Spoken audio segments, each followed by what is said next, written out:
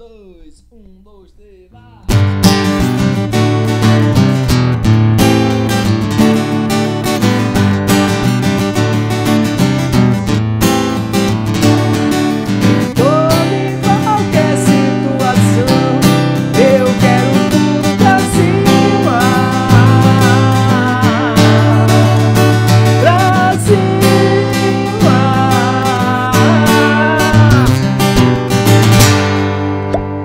Galera do YouTube! Seja bem-vindo ao nosso canal. Você que me conhece, meu nome é Birajara Abaixo. Se você ainda não é inscrito, se inscreva. Mas hoje eu estou aqui ó para falar desse violão aqui que acabou de chegar, que é o Giannini Performance. Vou fazer um reviewzinho dele, gente. Tô de boca aberta com o timbre desse violão. Fica aqui até o finalzinho do vídeo que eu vou dizer tudo que eu achei dessa viola, tá bom? Vem comigo. Bem, gente, esse aqui é o violão da Janine, muito conhecido, muito falado aí pela galera que chegou aqui para mim, tá? Eu tô muito feliz com esse violão. O que foi que eu achei dele logo de cara? Olha aí. Muito bonito, um violão bem construído. Gostaram da escala aí? Gostaram aí dos trajes? Se você quiser saber como você fazer isso aqui, tô deixando aí na descrição do vídeo, você mesmo pode fazer a hidratação da escala e a limpeza dos trajes, valeu? Então, seguindo aqui, temos headstockzinho dele aqui, ó. O logo aqui da Janine grifado, bonito. Não é 3D, mas bonito. Então, aqui as tarraxas também. Tá, vou passar assim rapidinho porque já tem muito vídeo falando aí dessa viola, tá? Explicando, tarraxa blindada, cromada, essas coisas aí. Madeira também não vou passar muito por essa situação porque Cada modelo desse aqui me parece que tem um tipo de madeira. Aqui na verdade é um laminado, né? Mas o que eu venho ressaltar aqui nesse violão é a construção, cara. É, é, é, por ser um violão chinês, né?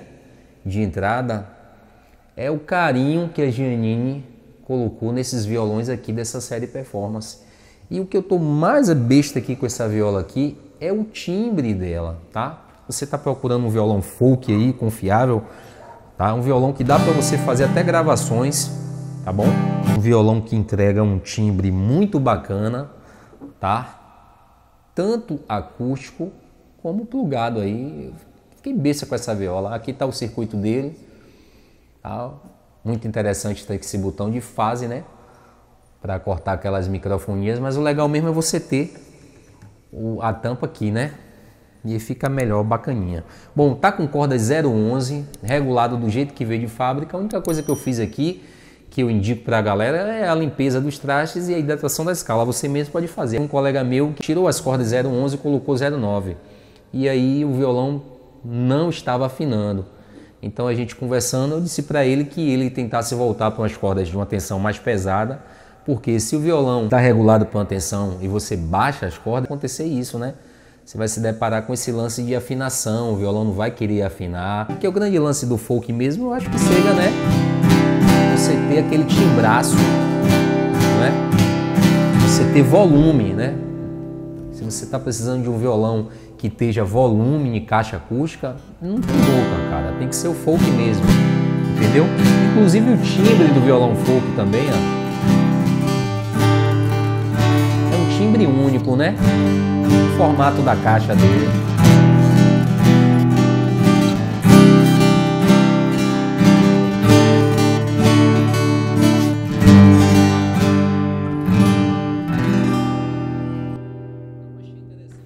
Um, dois, três, vai!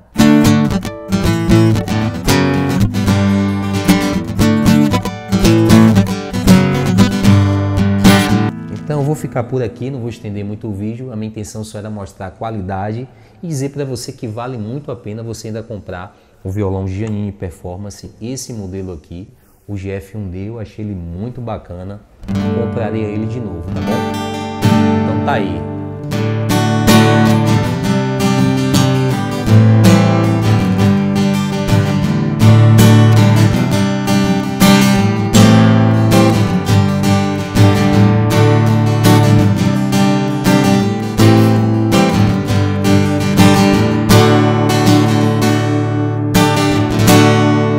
Próximo vídeo. Aquele abraço e!